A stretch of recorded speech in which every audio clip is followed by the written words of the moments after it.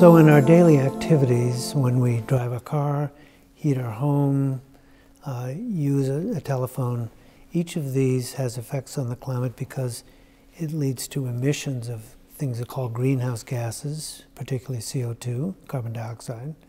Those then get into the atmosphere and change the climate. It, it's a very slow process, but when billions of people are taking millions of decisions over decades and decades, it adds up to a lot. So this has been known for many years, but we now have our models of economy and climate so we can track economic growth in different countries and the effect that has on climate now and into the distant future. So then the next linkage is back on the economy, which is as the climate changes, this leads to impacts in different areas. For example, as the climate warms, certain effect, there will be certain effects on agriculture, particularly in warm areas, that the crops may not grow so well. There, in the coastal areas, there will be rising ocean levels. Um, there's also will be issues such as more intense hurricanes and therefore more damaging hurricanes. And the list goes on and on. So you see the economy affects the climate, but the climate comes back. It's not just the economy, it's actually the economy plus things we do in our daily life.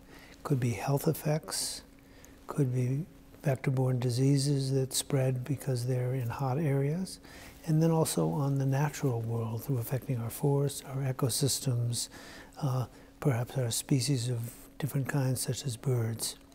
Uh, the linkage then is to link them. What we want to do is link that so we change our economic structure to slow the emissions to reduce the damages.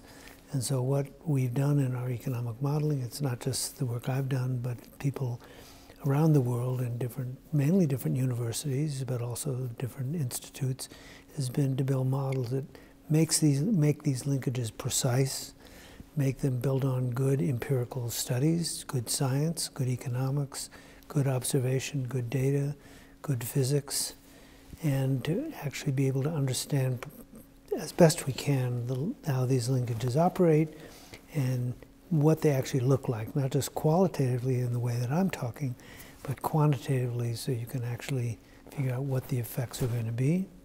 And then also quantitatively in terms of policies, what kind of policies we need to try to contain the rapid and slow the rapid growth of climate. So uh, that's that's what I and many of my colleagues have been working on now for many years. Um, we're now waiting for governments to take actions. I think it's clear what we need to do. We need to raise the price of carbon through a carbon tax or a cap and, cap and trade system, cap and trade system. So our governments need to, they need to get with it. They need to really get on board and to take the steps. And then when that happens, uh, the people, the firms, the companies, the researchers, the universities, the profit-making entities will begin to respond, and we will find that curve of carbon emission and the curve of climate damage tilting down.